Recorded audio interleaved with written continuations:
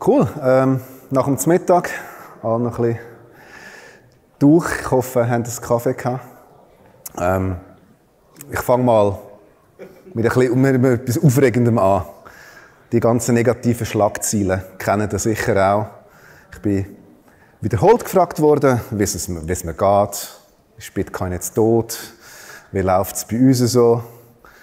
Ähm, leider bekommt man immer wieder so Sachen mit in den sozialen Medien, in den normalen ähm, Leitmedien, ähm, dass Sachen zusammenkommen, dass ähm, bei Celsius zum Beispiel damals wegen ein bisschen mehr Rendite einfach mega viele Leute viel Geld verloren haben, dass Börsen entweder bankrott gehen oder einfach verschwinden oder dass halt einfach irgendwelche Sachen gehackt werden. Ähm, kommt leider immer wieder vor. Und natürlich ganz aktuell, ähm, FTX ist einfach, ich weiß auch nicht, das ist noch die Steigerung von allem. Also ich glaube, ein normaler Dokufilm längert nicht mehr. Das muss schon Netflix-Dokuserie werden. Weil was da jetzt alles als, als Tageslicht kommt, das, das ist wirklich das ist unglaublich. Und zum einen kann man ein bisschen darüber lachen, auf der anderen Seite stecken da natürlich auch ganz viel Schicksal dahinter. Und was mich immer wieder halt trifft, ist, dass das alles einfach überhaupt nicht nötig wäre. Weil Bitcoin ist ein Inhaberwert. Bitcoin ist etwas, das ich wirklich einfach selber halten kann. Und ich glaube, es braucht einfach noch einen Mentalitätswechsel, vielleicht auch einen Generationenwechsel, dass man sich nicht mehr auf so einfach, scheinbar einfache Sachen verlässt, sondern einfach mit dem Thema beschäftigt und die Bitcoin halt einfach selber aufbewahrt. Und das ist gar nicht so schwierig. Weil Bitcoin für mich selber, Bitcoin ist ein Lichtblick. Die meisten, die zuerst mal mit dem Bitcoin in Kontakt kommen, heisst, wie ist der Preis und so weiter. Aber nach einer gewissen Zeit ist das gar nicht mehr so entscheidend. Was für mich ganz wichtig ist, ist, dass Bitcoin wirklich Hoffnung ist. Bitcoin kennt kein Vorurteil. Egal, wer ich bin, wo ich bin. Es ist ein neutrales Netzwerk, das einfach jedem offen steht. Bitcoin ist grenzenlos. Wie das Internet damals für Information hat Bitcoin heute für Wert, dass sie, wo uns kann befreien kann. Bitcoin ist grenzenlos. Es ist, es ist wirklich einfach befreiend. Bitcoin ist auch unabhängig. Es gibt niemanden, der direkt Einfluss nehmen kann auf Bitcoin als Netzwerk oder als ähm, Wertspeicher. Es gibt keine Regierung, die einfach Bitcoin nach Belieben drucken kann. Es gibt keine Lobbyorganisation, die Einfluss darauf nehmen kann oder äh, die ganzen Regeln ändern. Und es ist einfach direkt. Es ist von Mensch zu Mensch. Ich kann jetzt hier jedem in diesem Saal einfach Bitcoin schicken und es ist niemand dazwischen. Niemand kann es mir verbieten. Und das ist etwas, was zum Beispiel für uns jetzt vielleicht nicht so wichtig ist, aber wenn man unter einem autoritären Regime ähm, lebt, natürlich ganz eine andere Sprengkraft kann haben. Es ist einfach Geld von Mensch zu Mensch. Das alles gilt aber nur, wenn ich Bitcoin selber halte. Weil wenn ich Bitcoin auf einem Konto habe oder auf einer Börse oder was auch immer, dann ist es einfach nur ein, wieder ein Pseudogeld, wo irgendjemand für mich kontrolliert. Ich bin der Roland und ich werde euch heute ein bisschen näher bringen, wie einfach es eigentlich ist, Bitcoin selber aufzubewahren, aber auch die nötigen, wenigen, aber nötigen Insights noch mitzugeben, auf was man achten muss. Weil es ist ein bisschen etwas anderes, aber wenn man es mal verstanden hat, ist es wirklich nicht allzu schwierig. Heute ist der Vortrag ja auf Schweizerdeutsch. Dummerweise ist mit Titel einfach Bitcoin aber sicher, Hochdeutsch, Schweizerdeutsch in das Gleiche. Darum habe ich gedacht, ich mache es jetzt ein bisschen schweizerisch. Bitcoin aber sicher, damit es mindestens noch ein bisschen einen Lokalanklang hat.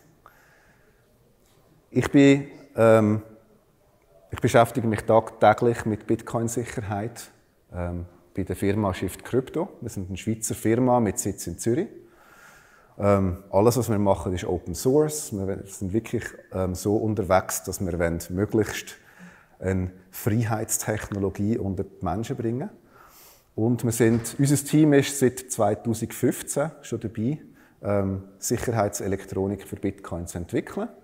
Und da ist natürlich auch einiges gegangen in dieser Zeit.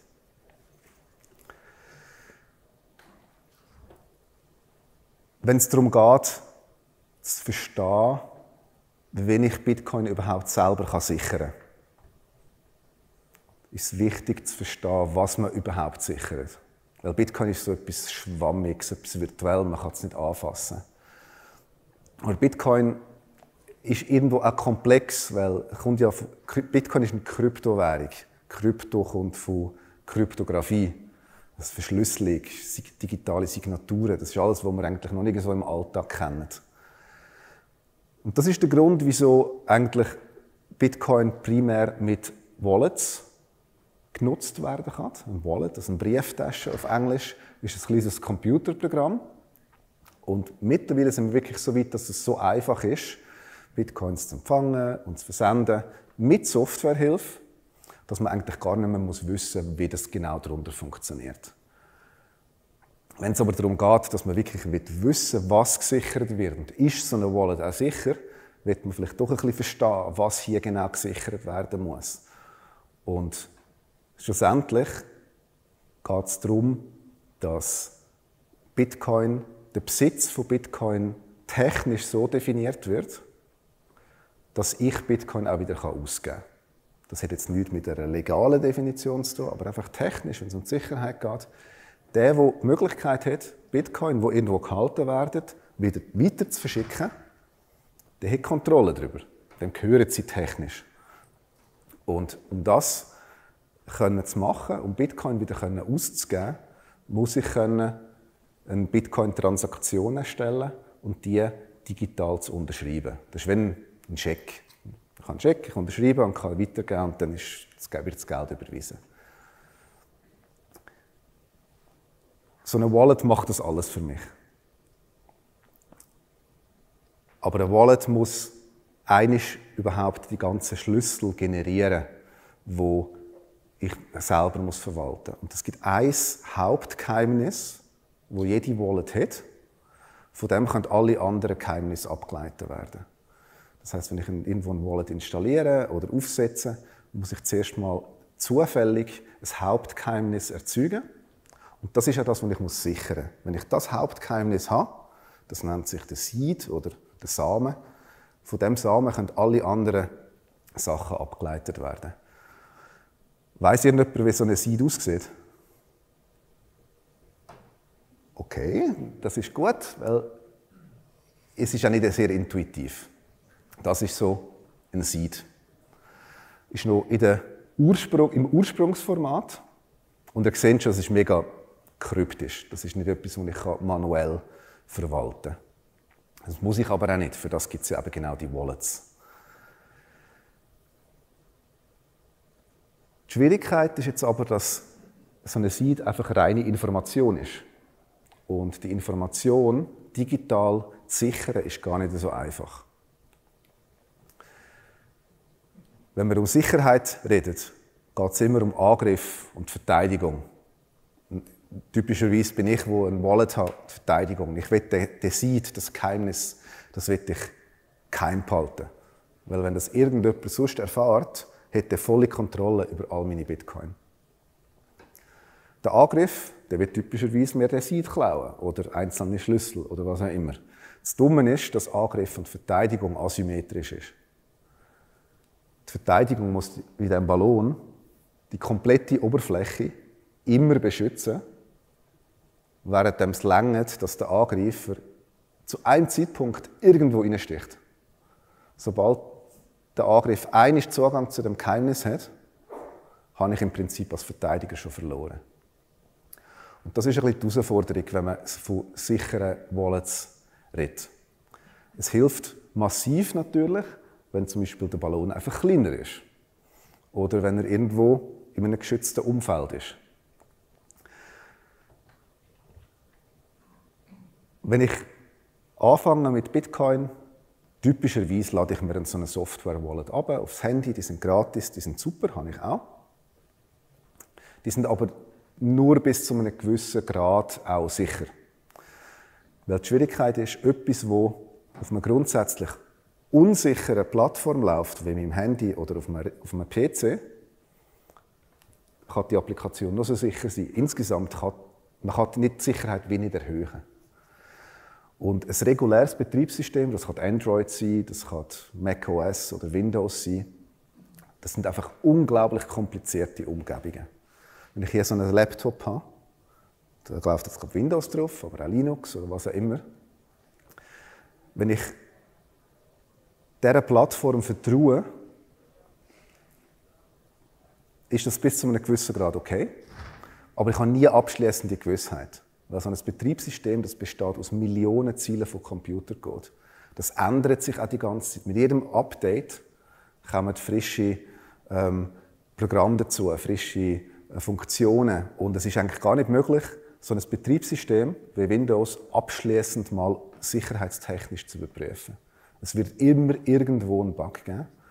Und bis ich den ähm, gefunden habe, hat es wahrscheinlich schon wieder drei Updates gegeben, die wahrscheinlich wieder frische Bugs beinhalten.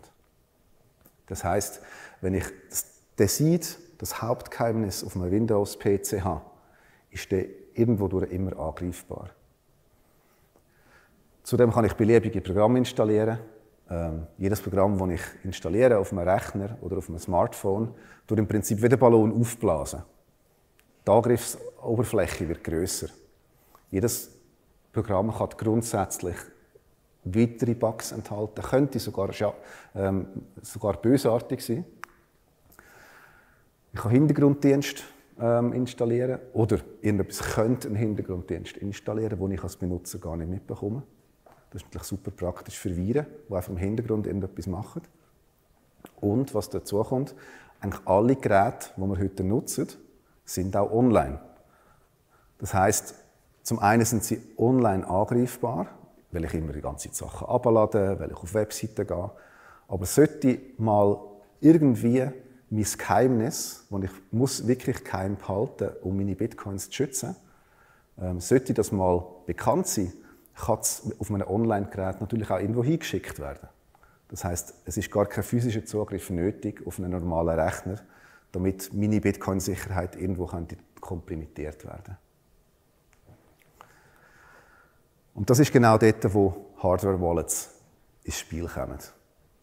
Wir produzieren Bitbox 02, aber das gilt, was ich heute erzähle, ist jetzt nicht irgendwie für Bitbox spezifisch, sondern das gilt generell für alle Hardware-Wallets. Und ich möchte ein bisschen eine Lanze brechen für die. Man muss das Hardware-Wallet nicht von Anfang an haben. Es ist absolut okay, einfach mal eine Handy-App zu haben, natürlich. Aber ab einem gewissen ähm, Wert, den ich sichern will, verhalten sich ein bisschen wie meine Brieftasche, die ich auch umtrage. Das heißt, ich habe natürlich Wechselgeld dabei. Aber ich gehe irgendwo auch davon aus, dass ich theoretisch könnte beklaut werden Das Risiko gehe ich persönlich ein und das ist okay. Aber ich will natürlich nicht meine ganze Lebensersparnis mit mir herumtragen. Und das ist dort, wo eigentlich Hardware-Wallets oder eben spezialisierte Sicherheitstechniken ins Spiel kommen. wenn es darum geht, größere Mengen von Bitcoin zu sichern. Und das ist, was heißt groß? Das ist, eine, individuelle Abwägung. Für gewisse Leute ist das, sind das 1000 Franken, für andere sind es vielleicht 50.000 Franken, ich weiß es nicht. Ähm, ist auf jeden Fall sinnvoll, sich nochmal vertieft mit Sicherheit zu befassen. Das ist wie ein Tresor, den ich mir ankaufe. Ich habe ja auch nicht irgendwie einen Goldbarren bei mir in der Nachttischschublade. Und Hardware-Wallets sind für den Großteil der Anwender eine sehr gute Möglichkeit, ohne gross ähm, technisch versiert zu sein, die Sicherheit der Bitcoin, die ich selber halte, zu erhöhen. Und der Grund ist, dass die einfach einen definierten Zweck haben. Die sind genau für das gemacht. Die sind minimiert auf das, was sie machen wollen und können nichts anderes als das, was wirklich nötig ist. Das heißt, ein Hardware Wallet die hat kein Betriebssystem. Der Code, der auf so einer Hardware-Wallet läuft, der Computercode, die Wallet, die ich brauche, um meine Bitcoin nutzbar zu halten, der ist so klein wie möglich. Der Ballon ist so klein wie möglich. Und der, läuft, der Code läuft auch direkt auf dem Chip. Da ist nicht irgendetwas dazwischen, wo so für irgendwelche Hintergrundupdates oder was auch immer vorgesehen wäre. Idealerweise ist der Quellcode, also das ganze Software-Zeugs, auch offen, dass es unabhängig überprüft werden kann. Dass man nicht dem Hersteller vertrauen muss und dass man auch Gewähr hat, dass das Gerät genau das macht, für das was es beworben wird. Und Hardware Wallets sind hauptsächlich dann relevant, wenn es darum geht, Bitcoin längerfristig aufzubewahren, im sogenannten Cold Storage. Das heißt, im Gegensatz zu Hot Storage, wo es eigentlich ein Online-Wallet ist, sind Hardware-Wallets eben offline. Das heißt, die ganzen Schlüssel, die auf der Hardware-Wallet sind, die werden so nie online zugänglich gemacht.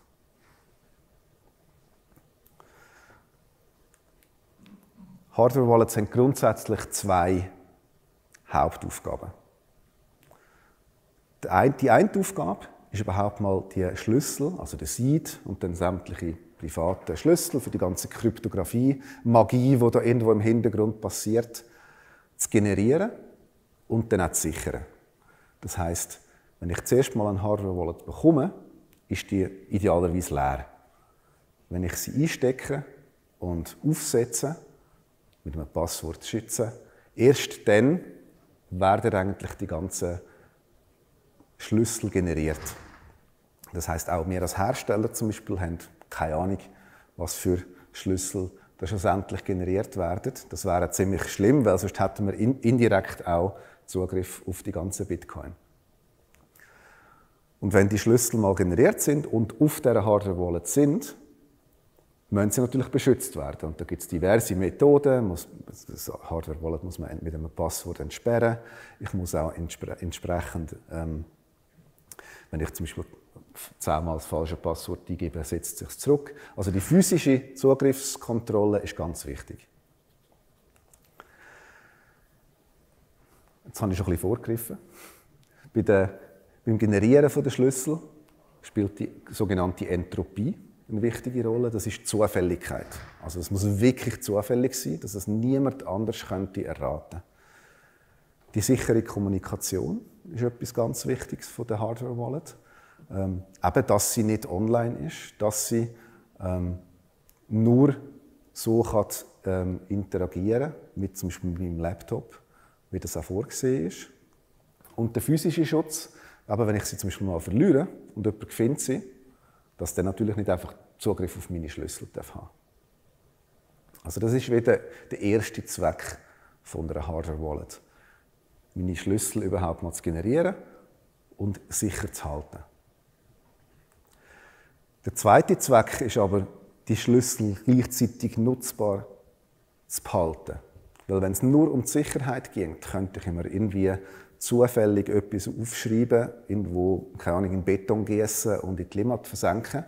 Das wäre wahrscheinlich extrem sicher, aber es bringt mir halt nichts. Weil ich muss Zugriff haben auf die Schlüssel, um Bitcoin zu nutzen. Und das ist das, was Hardware-Wallets sehr, sehr viel einfacher machen als alle anderen Methoden.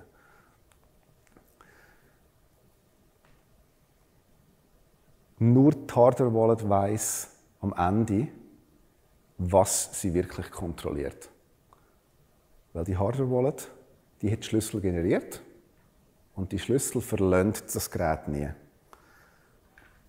Wir sagen damals, wir entwickeln Bitboxen so, dass man sicher ist, auch wenn man es in einer komplett unsicheren Umgebung nutzt.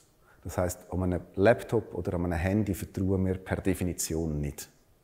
Das kann einem versuchen anzulügen, das kann einem versuchen, irgendetwas unterzuschieben. Die Wahrheit am Schluss ist nur auf der Bitbox.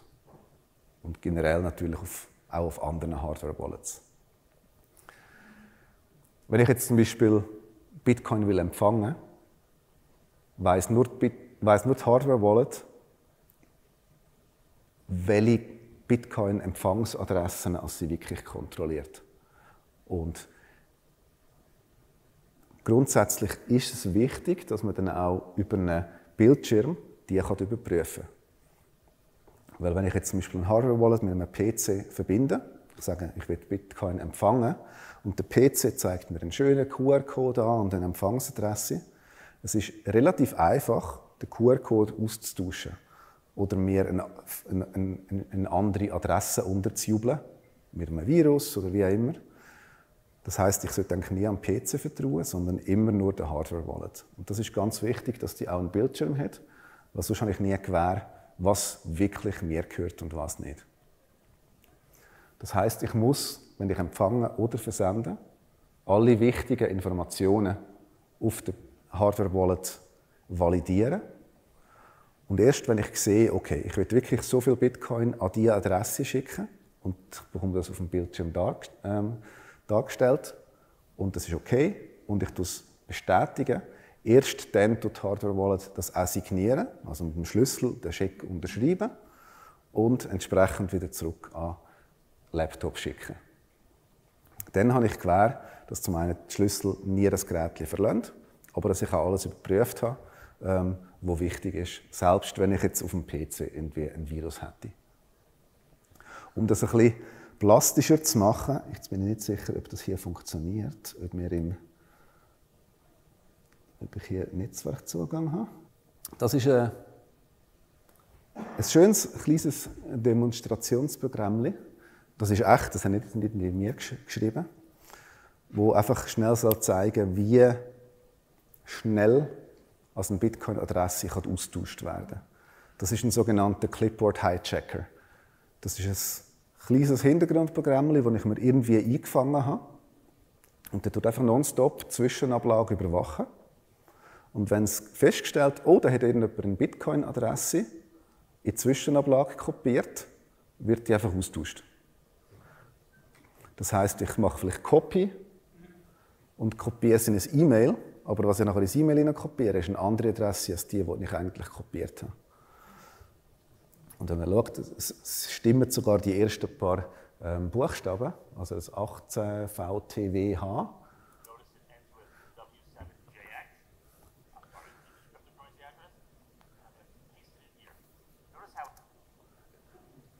Der Anfang hat gestimmt, aber am Schluss ist ganz eine andere Adresse rausgekommen.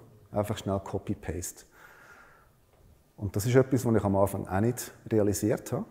Irgendwo macht es Sinn, dass man mit, mit einer, mit einer Hardware-Wallet beim Senden ist klar, die Schlüssel die sind auf der Hardware-Wallet. Ich muss, wenn ich sende, validieren und bestätigen. Aber es ist auch wichtig, dass ich beim Bitcoin empfange, die Empfangsadresse wirklich auf der Hardware-Wallet ähm, überprüfe.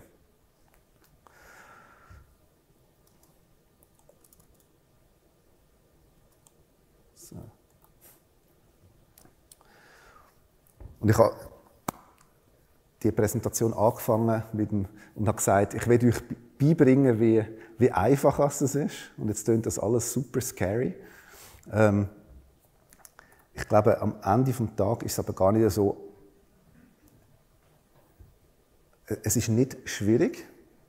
Man muss einfach gewisse Sachen mal verstanden haben. Und was ganz wichtig ist, ist einfach eben, wo ist die Wahrheit? Die Wahrheit ist auf der Hardware-Wallet. Ich muss alles auf der Hardware-Wallet überprüfen. Und das ist eigentlich das Einzige, was zählt.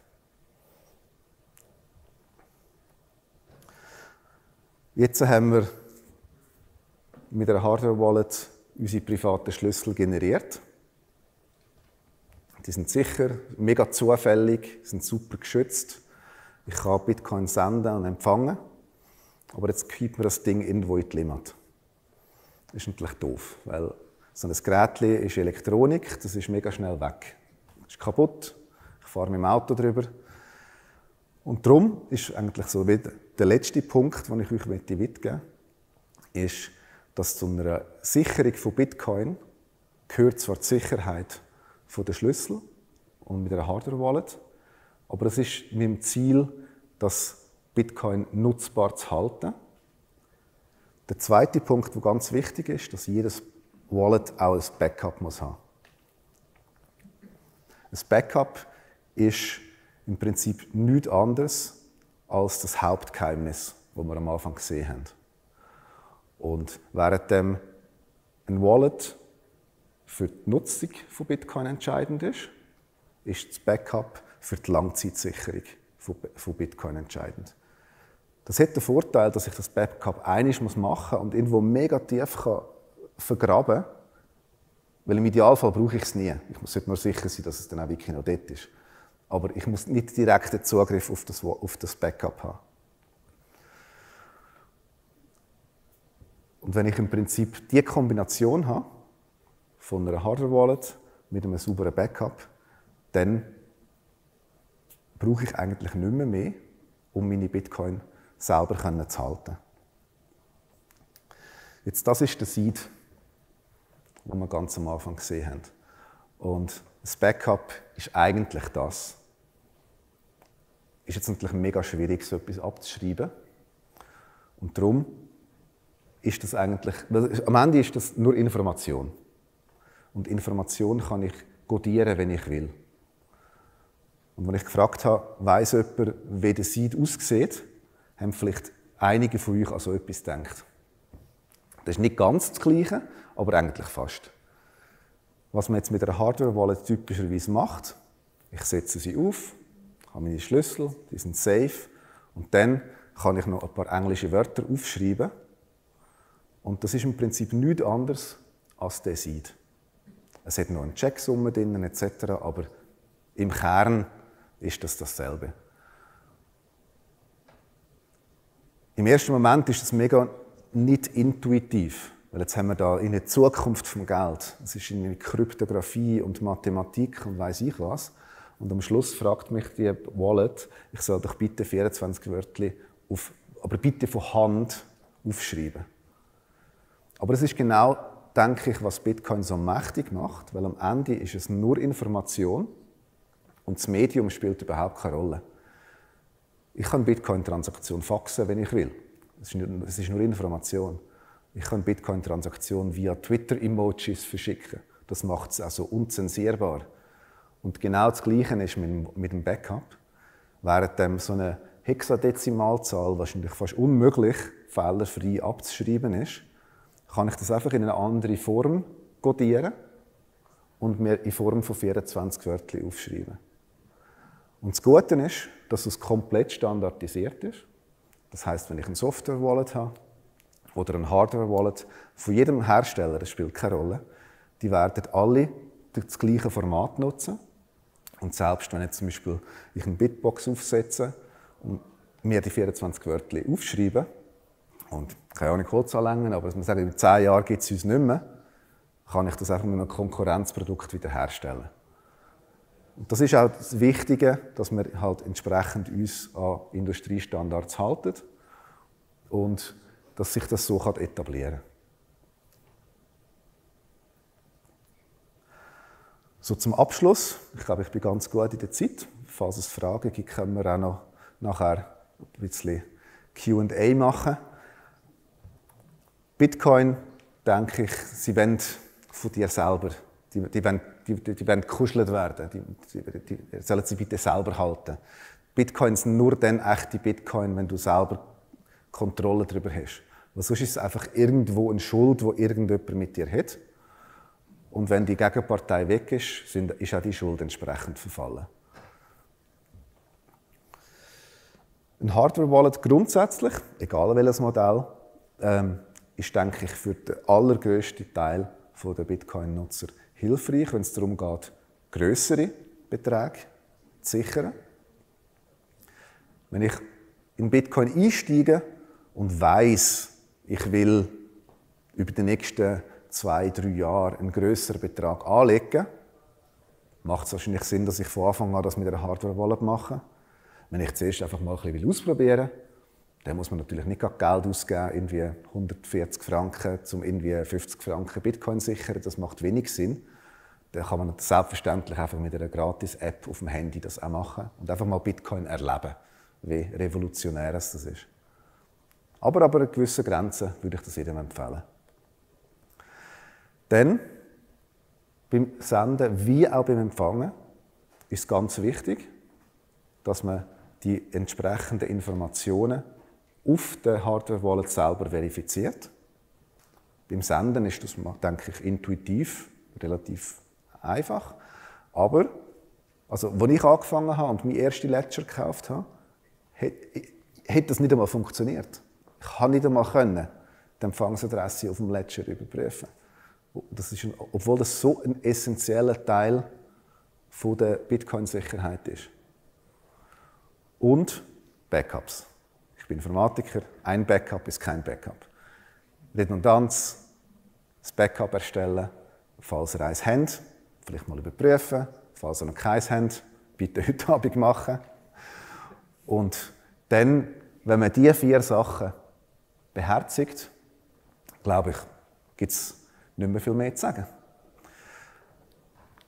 Hier gibt es noch ein bisschen weiterführendes Material für die, die wollen.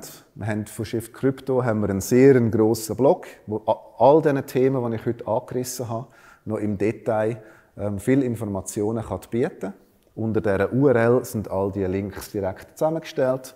Der QR-Code funktioniert natürlich auch. Ja, dann sage ich vielen herzlichen Dank.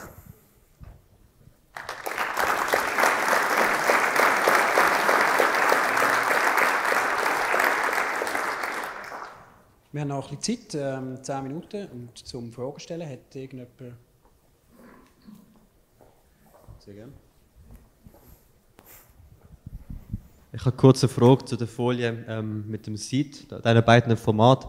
Mhm. Erstens, was, was ist der Name vom, von deinem unteren Format mit den 24 Wörtern? Ähm, und zweitens, wie denn der mathematische Algorithmus genau aussieht, beziehungsweise auf was ich will rausgehen ist, ähm, warum es ab und zu 12 oder was der Unterschied zwischen 12 und 24 Wörtern ist eigentlich in Bezug auf den mathematischen Algorithmus. Also genau den Algorithmus kann ich dir nicht so ad hoc beschreiben. Das Format, das man hier sieht, nennt sich BIP 39. BIP steht für Bitcoin Improvement Protocol 39. Es gibt ganz viele von denen. Und das ist im Prinzip ein Standarddokument. Und dort ist definiert, wie ein Seed in Form von 24 englischen Wörtern kann gespeichert werden oder repräsentiert werden. Und das sind nicht beliebige Wörter, es gibt eine Wortliste von 2048 Wörtern, ähm, wo man einfach kann entsprechend auswählen und wie Informationen mit denen ersetzen. Die Definition, wie es genau funktioniert, die ist in diesem Dokument definiert. Ich denke, schlussendlich ist meistens der Code die effektive Definition. Bei Bitcoin ist es häufig so, dass eigentlich zuerst ein, Code geschrieben wird und nicht zuerst das völlig abstrakt definiert wird.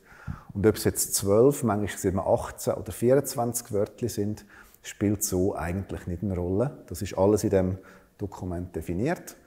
Wir nutzen jetzt persönlich lieber 24 Wörter, obwohl das ein bisschen Overkill ist. Aber es lädt noch gewisse ähm, Redundanz, um zum Beispiel die Wörter aufzuteilen, ähm, um gewisse andere Backup-Schemas zu erfüllen. Wir reden immer jetzt von, von der Sicherung der Bitcoin selber, aber ich frage mich immer, der Seed selber ist ja sehr altmodisch gesichert, auf ein Papier aufgeschrieben, irgendwo versteckt, äh, was auch immer. Äh, Gibt es dann noch andere Möglichkeiten, um den Seed sicher zu gestalten? Oder? Das ist äh, für mich die Frage. Oder? Mhm. Also Backups sind tatsächlich ein, ein, ein, wunder Punkt, ähm, weil es gibt immer so ein einen Spagat zwischen nur ein transparentes Backup ist ein gutes Backup, weil wenn ich jetzt heute Abend unter den Bus komme, meine Familie sollte ja Zugriff haben auf das Backup und wenn ich nur irgendein Passwort im Kopf habe, ist das schon mal schwieriger oder wenn es separat aufbewahrt ist. Es gibt diverseste Möglichkeiten, ein Backup, also die 24 Wörter, noch weiter zu schützen, anders abzulegen. Äh, ich kann mit verschiedenen Medien spielen, also ich kann es auf Papier aufschreiben, ich kann es in Stahl stanzen, ich kann eine zusätzliche, eine zusätzliche Passphrase hinzufügen. Ähm, ich kann die 24 Wörter aufsplitten in ein 2 von 3 Schema. Ähm, ich kann natürlich auch ähm, hergehen und sagen, ich will nicht nur das Backup schützen, sondern ich will eigentlich meine Wallet generell redundant machen. Ich kann ein Multisig-Schema erstellen, wo ich jede Bitcoin-Transaktion mit mehreren Hardware-Wallets signieren muss. Vielleicht nur von mehreren Herstellern. Also gegen oben ist es eigentlich unbegrenzt, wie viel Sicherheit das man hinzufügen kann. Aber es kommt halt auch immer Komplexität dazu. Und so die, die allgemein schlüssige Antwort auf eine Frage, wie jetzt ich mein Backup daheim aufbewahren sollte, ist so leider noch nicht erfunden worden. Das ist immer ein Zielkonflikt zwischen Einfachheit und Transparenz versus mehr Sicherheit, aber dafür auch ein Verschleierung und schwierigere Wiederherstellung. Ähm, was ist deine Einschätzung zum, ich sage es mal, als winziges Restrisiko Quantum Supremacy? Ähm, ist sicher ein Thema, du dich damit beschäftigt hast. Was ist dort der Konsens in der Community? Ähm, ist das ein Restrisiko oder ist das völlig ausgeschlossen? Ich glaube, ich bin da zu wenig schlau, um das können wirklich zu beantworten. Ähm, es gibt eine Diskussion, dass eventuell irgendwann ein Quantencomputer eigentlich nicht nur Bitcoin, sondern die komplette Verschlüsselung obsolet machen. Ähm, was man dort kann sagen kann, ist, dass zwar die digitale Signatur, die ist anfällig für Quantenkryptographie. Das, je nach Einschätzung geht das aber noch Jahrzehnte oder wird gar nie so weit kommen, dass man in dieser Komplexität das berechnen kann. Ähm, aber das, das ist nur die Signatur selber. Ein Bitcoin, wenn er auf der Blockchain gespeichert ist, ist es zusätzlich noch durch einen Hashing-Algorithmus verschleiert, sage ich mal. Und Hash-Funktionen sind nicht anfällig für Kryptoquantographie. Das heißt, Bitcoin, die sich nicht bewegen, sind in dem Sinn Konsens heute nie in Gefahr. Es wäre höchstens dann ein Problem, wenn ich eine Transaktion, währenddem sie unterwegs ist, abfangen und einen Doppelspend machen. Ich, ich, glaube, man geht heute davon aus, dass wenn das mal echt in Gefahr wird werden, dass man mit einem entsprechenden Hardfork von der Kryptographie durchaus Bitcoin quantenresistent machen könnte. Der Nachteil ist, dass es einfach sehr viel mehr Rechenleistung braucht, um dann auch die ganzen Signaturen durchzuführen. Aber ich glaube, da ist auch die Frage, ob dann Bitcoin ist, angegriffen wird, oder, ob da die komplette militärische Kryptographie zuerst mal darunter wird, wird leiden. Das ist ein grosses Fragezeichen. Ich habe eine Frage zum Hardware-Wallet. Und zwar weiss man heute, dass äh, beim Kauf von einem Hardware-Wallet das schon komprimentiert kann sein. Also, das sind schon gehackt worden. Also, darum meine These, es kommt durchaus ähm, kommt darauf an, welches Hardware-Wallet, von welchem Lieferant. Könnt ihr da eine, eine Erfahrung, äh, Aussage machen, was für Wallets wirklich noch nie gehackt worden sind und als sicher gelten? Ähm, ich glaube, ich würde mal grundsätzlich sagen, alles kann gehackt werden. Es ist eine Frage vom Aufwand und von der Zeit. Ähm, und die Aufgabe von einer Hardware-Wallet ist es, ein Angriff so teuer und so wenig erfolgsversprechend zu machen. Also zum, einen, dass ich muss Millionen von Franken aufwenden für vielleicht eine 0, irgendwas prozentige Möglichkeit, das zu hacken, weil sonst wird das Hardware-Wallet zerstört. Ähm, dass es, dass es sich einfach von Anfang an nicht lohnt. Aber wenn ich jetzt irgendwie ein NSA bin mit unlimitierten Möglichkeiten, ist, es schwierig, ob man einfach eine, eine einfache Hardware-Wallet nicht könnte hacken. Vielleicht eine Anschlussfrage. Es geht mir eigentlich nicht ums Hacken, sondern dass die Hardware per se schon bei der Produktion einen Produktionsfehler hat mhm. und in den Umlauf kommt und in dem Sinn falsche Sicherheit geht von dem Wallet, weil es, wenn man es draufspielt, sie dann verloren oder distributed sind in dem mhm. Sinn. Das ist das Thema, also nicht ja. unbedingt der Hack. Also da kann ich einfach von uns sagen, ich weiß nicht genau, wie es andere machen. Ähm, wir versuchen grundsätzlich sämtliches Vertrauen, das du als Kunde in uns als Firma musst setzen musst, möglichst zu minimieren. Ich glaube, ganz komplett ohne Vertrauen geht es wahrscheinlich nie. Aber wir versuchen es maximal zu reduzieren. Und dazu gehört natürlich, dass zum Beispiel die ganze Hardware von der Bitbox ist publiziert. Wir haben sogar ein Röntgenbild bei uns auf der Homepage. Du kannst zu deinem Zahnarzt gehen und ein Röntgenbild machen von deiner Bitbox und das vergleichen, ob da noch mehr Chips drauf sind. Ähm, die ganze Software, die wir, die wir schreiben, ist Open Source. Du kannst jede Ziele Code überprüfen.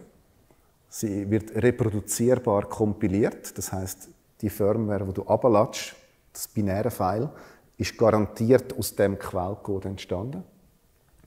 Und was wir auch haben, ist so eine Art ein, ein Attestation-Check. Ähm, das heißt eine kryptografische Echtheitsprüfung. Wenn du Bitbox-App installierst und Bitbox für, für, ähm, ansteckst, gibt es ein Challenge-Response-Verfahren, wo überprüft wird, ob das auch eine echte Bitbox ist. Das heißt, wenn mindestens ein Teil, also eins von diesen zwei echt ist, bist du eigentlich safe. Klar, wenn du eine Fake Bitbox-App mit einer komplett Fake Bitbox würdest zugespielt bekommen, dann ist es auch für uns schwierig, das so etwas zu verhindern, weil dann ist es einfach irgendwie Scheinsicherheit.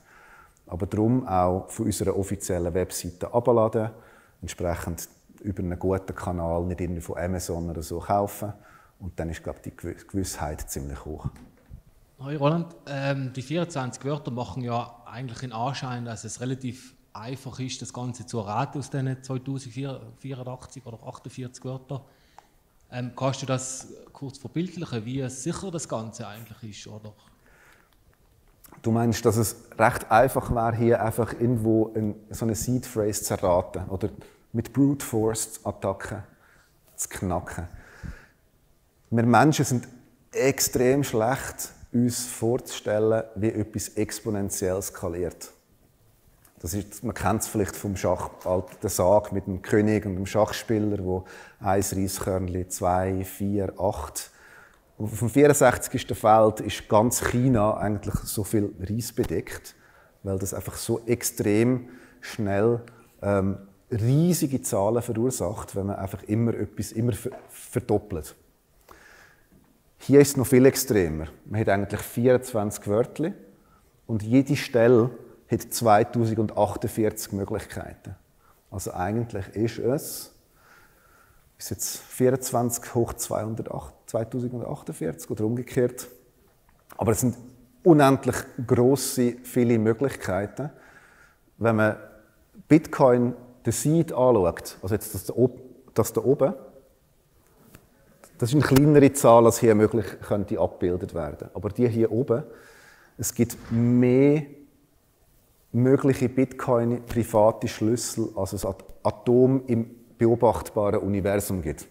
Es ist nicht nur ein Sandkörnchen auf der Welt, sondern es sind Atome im Universum. Also die Zahlen sind so riesig groß, dass es klar theoretisch möglich wäre, ein Wallet-Seed zu erraten, aber praktisch ist es absolut unmöglich. Also es ist einfacher, in das Atom zu finden im Universum, als eine bestimmte Bitcoin-Wallet zu erraten. Ist das plastisch? Gut. Ähm, cool. Merci.